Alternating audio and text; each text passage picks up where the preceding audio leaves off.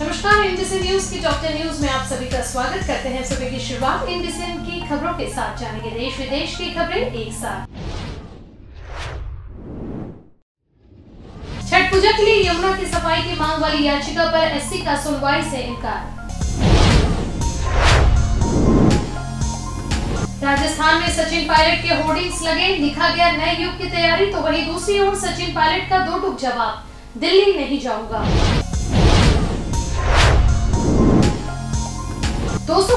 की money laundering मामले की सुनवाई अब 22 अक्टूबर को होगी तो वहीं मनी लॉन्ड्रिंग केस में जैकलीन फर्नांडिस को मिली अंतरिम जमानत।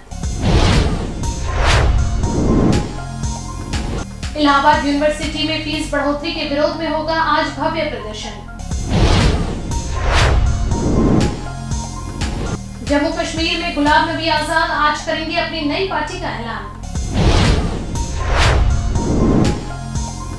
हिमाचल के कुल्लू में बड़ा सड़क हादसा, यात्रियों से भरी गाड़ी खाई में गिरी, सात लोगों की मौत तो वहीं दस घायल।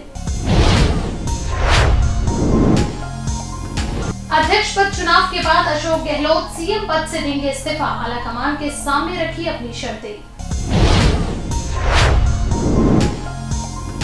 पीएफआई के खिलाफ एक्शन लेगी सरकार, सुरक्षा एजेंसियाँ बना रही है ठोस रणनीति। इंडिया ने जीती सीरीज़। अक्षर के बाद सूर्य कोहली ने की धुनाई। हैदराबाद में ऑस्ट्रेलिया को छह विकेट से हराया। और सोनिया गांधी से मिले लालू नीतीश, विपक्षी दलों को एकजुट करने की रणनीति पर हुई चर्चा।